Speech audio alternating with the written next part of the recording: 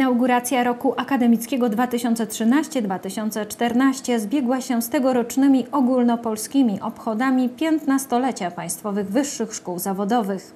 Zgromadzonych gości i studentów powitała rektor uczelni Elżbieta Ląc. Szanowni Państwo, w minionym 14 roku akademickim 2012-2013 w naszej szkole wyższej studiowało na dziewięciu kierunkach ponad 2,5 tysiąca osób, z których prawie 700 opuściło jej mury z tytułami zawodowymi, licencjuszy prawie 350 osób oraz 154 inżynierów i 141 magistrów. W poczet studentów nowego roku akademickiego przyjęliśmy zbliżoną, choć nieco mniejszą liczbę kandydatów.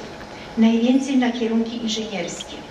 Przedstawiciele tej kilkusetosobowej grupy wraz z wałbrzyskimi seniorami, naszym Uniwersytetem Trzeciego Wieku, będą w trakcie inauguracji immatrikulowani, czyli włączeni po złożeniu ślubowania do naszej społeczności akademickiej obowiązkiem uczenia się, czyli studiowania, a więc zdobywania wiedzy, umiejętności, kształtowania postaw, mówimy na poziomie wyższym. Podczas inauguracji roku akademickiego przyszedł czas na podsumowanie dotychczasowych osiągnięć, przy czym uroczyście wręczono odznaczenia kadetom oraz nagrody pieniężne absolwentom uczelni za szczególne osiągnięcia naukowe i działalność na rzecz uczelni. Pomiędzy przemówieniami i odznaczeniami w solowych występach zaprezentowali się studenci Państwowej Wyższej Szkoły Zawodowej.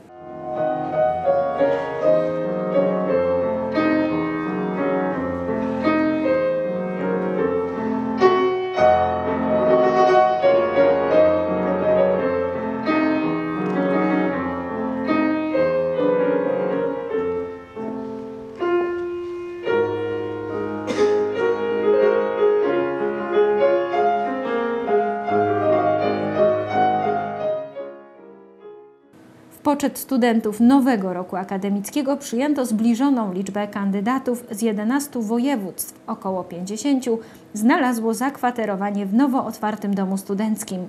Część z nich podczas dzisiejszych uroczystości złożyła uroczyste ślubowanie oraz odebrała indeksy. Ja, Angelika Posztegna, ślubuję. Ja, Michał Łaski, ślubuję. Ja, Ewa Kazimierczak, ślubuję. Ja, Mateusz Sawicki, ślubuję. Ja, Metin Kaan, ślubuję.